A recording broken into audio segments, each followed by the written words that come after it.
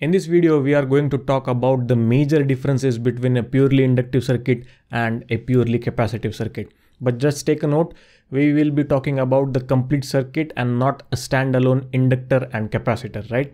So let us start with the first and the important difference. That is what do we mean by a purely inductive circuit and what do we mean by a purely capacitive circuit. So when we say purely inductive circuit, it means it has zero resistance and the capacitance is infinite. Only then we can call it as purely inductive circuit. On the other hand, the capacitive circuit is a pure capacitive circuit if it has zero inductor and the resistance of it is infinite. Only then we can call a circuit as purely capacitive circuit. So that is the first difference. The second difference is now we know that inductor opposes the change in current. So if you're passing a constant current, it is fine. But the, uh, if you're passing an alternating current, it is not okay. Inductor will oppose that. And as a result, when the current is maximum, the voltage is zero. And when current is zero, the voltage will be maximum. So if you see the waveform, you will notice that voltage has a head start and current is lagging behind the voltage. So if you see here, let's say the voltage is getting zero at 90 degrees, right? The current is getting zero at 180 degrees and the difference between the two is 90 degree, right? And that is the reason why current lags the voltage by 90 degree in case of a purely inductive circuit, right? In capacitive circuit, the capacitor opposes the change in voltage and as a result, when voltage is maximum, the current is zero. And when voltage is zero, the current will be maximum. And if you draw the waveform of a purely in capacitive circuit, then it will look like this. Now here you can see uh, here the current has head start and voltage is lagging behind the current by 90 degrees. So if current is getting reaching its zero value at 90 degree, then the voltage is reaching its zero value at 180 degrees. The difference between the two is again a 90 degree, right? And that is the reason why in capacitive circuit, current leads the voltage by 90 degree. Now this is exactly opposite than what we have seen in the inductive circuit. In inductive circuit, the current lags the voltage by 90 degree, right? And that is the major difference. So the second difference what we can write here is in purely inductive circuit, current lags voltage by 90 degree and in purely capacitive circuit current leads the voltage by 90 degree. Now I already have a dedicated videos explaining about uh, how inductor works in AC and how capacitor works in AC. I'll give you link for that uh, complete playlist down in the description. You can go and check that out for more details. Now the third one. Now in the inductive circuit, we know that inductor opposes the change in current. So if you're passing a constant current through inductor, inductor is okay. But if you're passing a changing current, then inductor will oppose that. Now this opposition is different from what a resistor offers, right? And hence we have a dedicated name for such opposition and we call it as reactance. And since this is specifically offered by an inductor, we call it as inductive reactance and it is denoted by XL. Clear? That is about inductive circuit. Now talking about the capacitive circuit, capacitor opposes the change in voltage. Constant voltage, capacitor is okay with that. But if voltage is changing, then the capacitor will oppose that, right? And this opposition, again, it is different from what a resistor offers. And we have again a separate name for it, uh, which is nothing but the reactance. Since this is offered by a capacitor, we call it as capacitive reactance and it is denoted by XC, right? So the next difference we can write it as opposition offered by purely inductive circuit is known as inductive reactance and it is denoted by XL. Opposition offered by purely capacitive circuit is known as capacitive reactance and it is denoted by XC. Clear? That is the third one.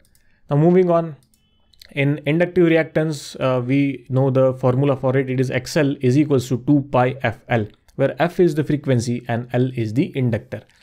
Now the formula clearly says that frequency or let's say the opposition inductive reactance is directly proportional to the supply frequency.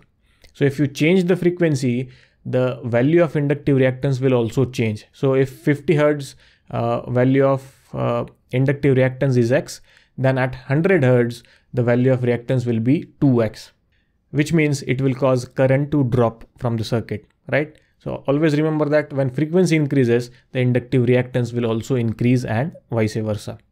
Now exactly opposite to that in capacitive circuit, uh, the supply frequency is inversely proportional to the capacitive reactance.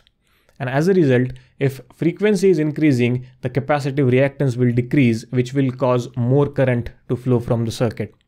Now let me quickly show you that using a simple circuit simulation here.